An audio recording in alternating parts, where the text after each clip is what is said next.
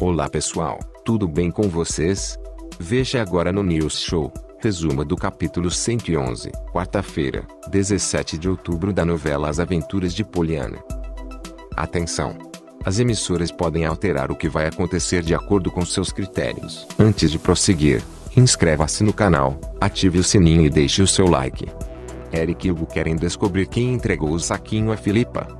Guilherme comenta com Brenda que Roger não sabe que ele e Raquel namoram. Luca Tuber convida Mirella para participar de um vídeo novo no canal dele. Luísa fica triste porque Poliana foi morar na casa de Durval. Poliana fica preocupada com Luísa. Marcelo leva João para falar com a diretora Ruth. Débora insiste em chamar a atenção de Marcelo e o convida para tirar umas fotos da aula de dança. Ruth procura João e o encontra indo para a sala de máquina. Ao ver Débora tratando suas alunas bem, elas estranham. Nancy pensa em uma maneira de trazer Poliana de volta para a casa de Luísa.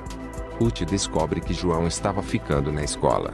Ao visitar o Sr. Pendleton, Poliana conta sobre o ocorrido entre ela e Luísa.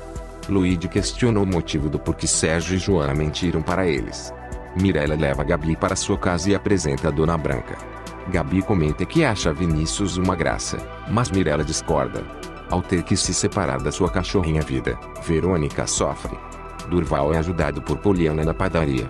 Nancy envia um vídeo de Luísa para Poliana,